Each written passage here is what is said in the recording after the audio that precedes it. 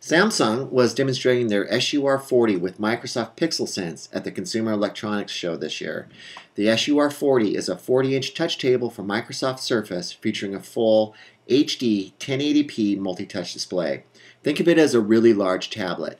Touch tables are being overshadowed by other product announcements at the show.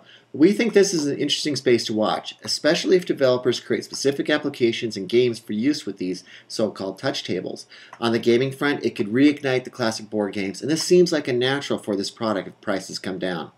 We'll keep watching the touch table market category and let you know as new information becomes available. Be sure to check out our website at gear-tv.com for over 50,000 product videos on your favorite gadgets, consumer electronics, and sporting goods equipment.